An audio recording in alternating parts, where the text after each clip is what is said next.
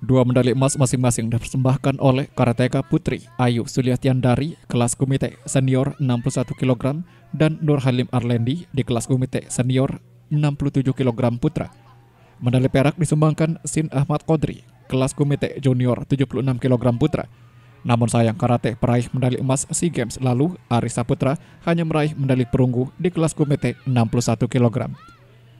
Empat perunggu lainnya diraih Arisa Putra kelas komite 61 kg, Indri Ramadhani di kelas komite senior 68 kg putri, Harai Soke Lamindo, dan Farel Apriansah kelas kata perorangan cadet komite 57 kg cadet putra.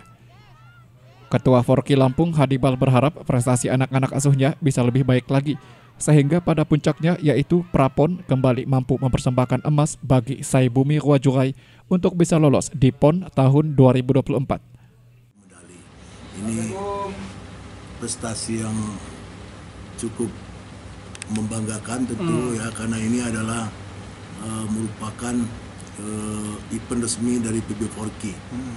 yang akan uh, menseleksi atlet-atlet Indonesia dalam mengikuti kejuaraan Asia ya atau uh, Asia Pasifik hmm. AKF di uh, Turki. Nah, jadi dengan demikian uh, tiga atlet kita akan ikut di kejuaraan Asia Pasifik di Turki nanti ya satu uh, Ari Saputra, dua Nur Halim Argandi, tiga Ayu Sulistiandari. Usai kejurnas, Karate Lampung fokus pada kejuaraan Karate Asia Pasifik di Turki untuk mewakili Indonesia pada bulan November 2022 mendatang.